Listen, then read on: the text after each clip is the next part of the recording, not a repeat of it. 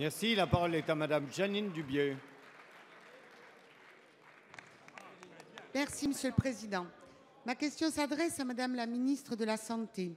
Dimanche 1er décembre, journée mondiale de lutte contre le sida, les jeunes radicaux de gauche et des associations ont publié une tribune dans la presse dominicale sur une discrimination insupportable des personnes séropositives jusque dans la mort.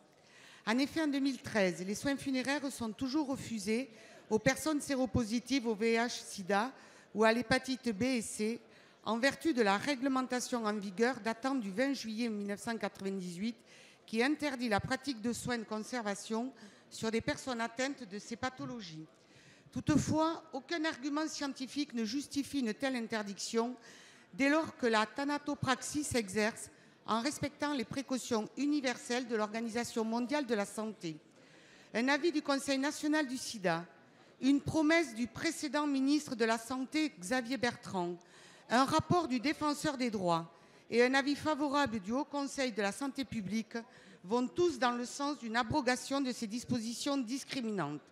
Alors que les personnes vivant avec le VIH ou une hépatite doivent faire face trop souvent à une série de discriminations et une forte stigmatisation, nous ne devons pas prolonger ces discriminations après le décès.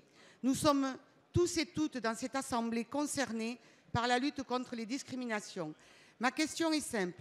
Madame la ministre, vous qui avez annoncé en juillet 2012, lors de la conférence internationale sur le sida aux associations, que cette décision relevait également du ministère de l'Intérieur, je voudrais savoir si le gouvernement pense à abroger ces dispositions discriminatoires en autorisant enfin les soins funéraires pour les personnes séropositives au VIH-Sida et aux hépatites Et si oui, dans quel délai? Je vous remercie.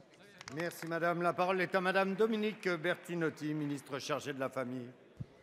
Madame euh, la députée, tout d'abord, permettez-moi d'excuser euh, Marisol Touraine qui est retenue à un congrès de, de la Fédération des cliniques et hôpitaux privés à Marseille. Après avoir euh, été alertée sur les difficultés rencontrées par les familles lors du décès de personnes infectées par le VIH, vous savez sans nul doute que le Conseil national du sida a publié en 2009 un avis sur les opérations funéraires et demandé l'annulation de l'interdiction de réaliser des soins de conservation sur le corps des personnes atteintes d'infections transmissibles telles que le VIH et les hépatites. En 2011, le même Conseil national du sida a réitéré sa position. Le défenseur des droits la même année, a demandé à son tour la levée de l'interdiction. Le Haut Conseil de santé publique a été saisi en 2012. Cette année, un rapport a été demandé à l'inspection générale des affaires sociales ainsi qu'à l'inspection générale de l'administration et ce rapport va être rendu public prochainement.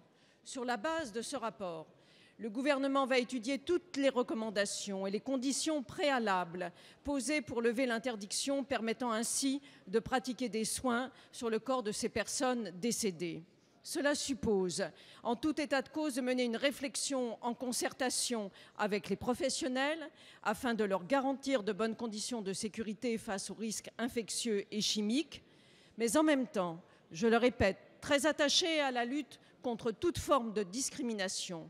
Le gouvernement souhaite que l'ensemble des familles frappées par un deuil puissent également bénéficier de prestations de qualité dans le respect de la dignité du défunt.